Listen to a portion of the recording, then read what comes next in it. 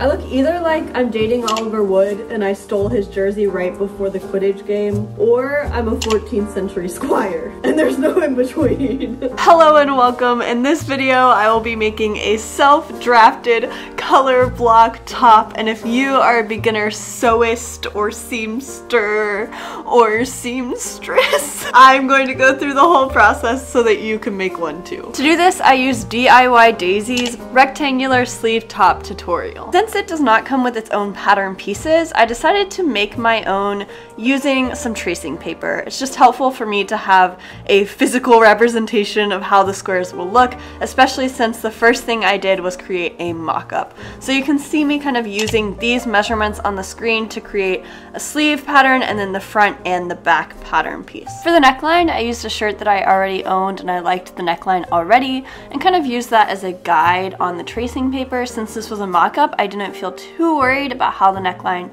would come out yet. And then I made a mock-up off camera. Here's how it looked. But I was in a super grumpy mood that day and Thought it looked terrible. so decided to remake it by making the body smaller but not the sleeves proportionally. So it looked like this. Um, all that to say, we're gonna stick with the first version. So let's get started. I started cutting out my pattern pieces and had a moment of sheer confusion. But we power through. I laid out my green linen and started to cut the front pattern. I folded it in half and gave myself an inch of seam allowance so that when I sewed the front two panels together at a half an inch seam allowance, they would both work. And this Beebe is going to show you more how I got the colors to work out and how I cut out my pattern so that the color blocking worked. Okay, so this is quick.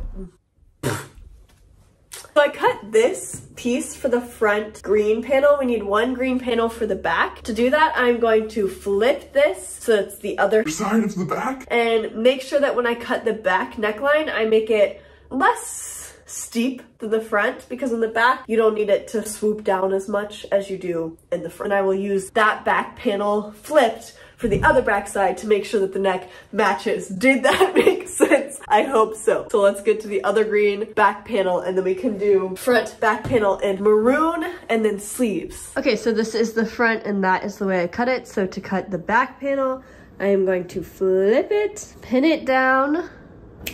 Okay, and then I'm going to cut along the edges like normal, but cut kind of a less swoopy curve here, which I will draw out. And then I fully intended to show you how I did this, but it was completely not visible at all.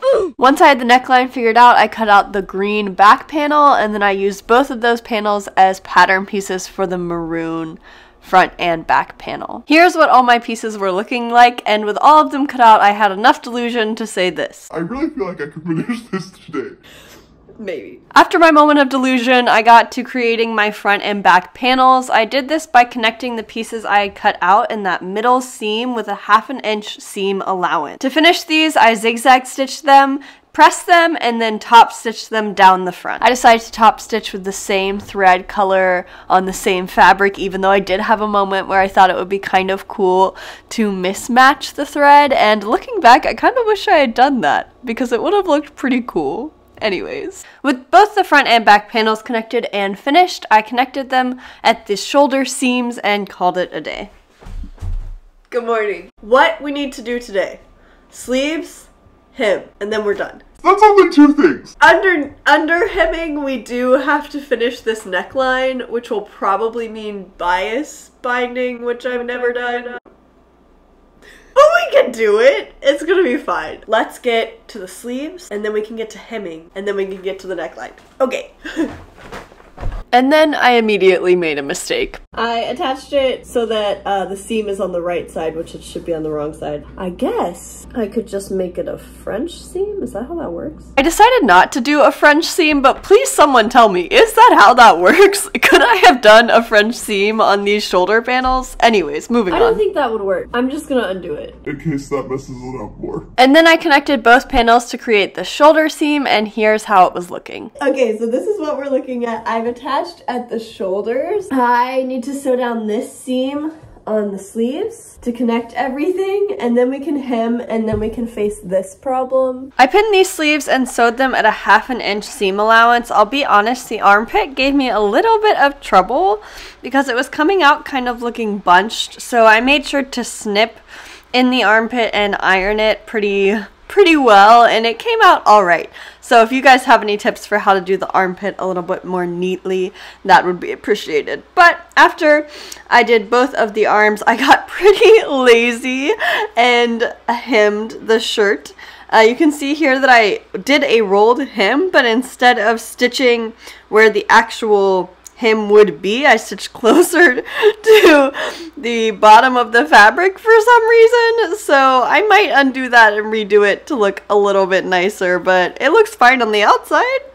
Later that day, my husband and I sat down to watch some Gravity Falls while I crafted, and he had the audacity to say this when I tried it on in front of him. You look like a square. Yeah, see, they have like the color, like different houses will have the colors on different sides. Look at that. Hi. My husband told me this shirt looks like a square. I haven't emotionally recovered.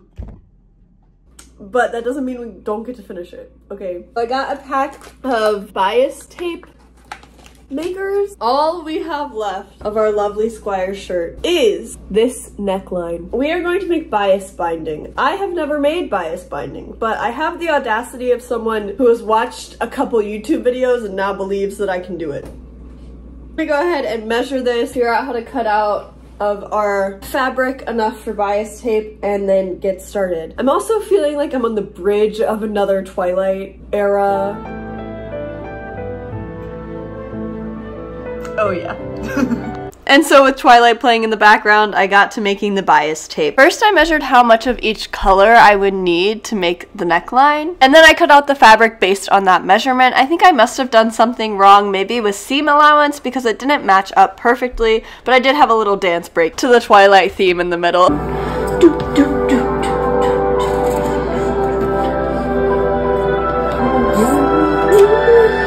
Maybe?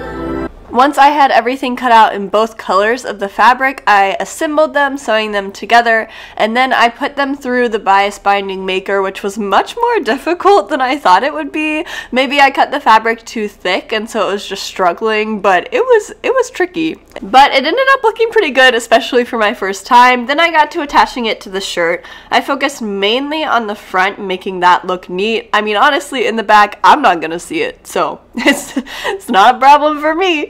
Um, but yeah, I really wanted it to be centered and crossed at the front. Um, I got to pinning all of that and was struggling for a second. How are you supposed to have enough hands for this? Then after what seemed like an eternity of pinning this down, I got to sewing it. I moved pretty slow on this and this is how the shirt looks. Really happy with this shirt. I think it's super beginner friendly and it's super customizable because you could use any colors, any fabric to make this work. If you enjoyed the chaos that was this shirt, feel free to subscribe and I will see you next time you're feeling crafty. Bye. You need a... a Drop everything.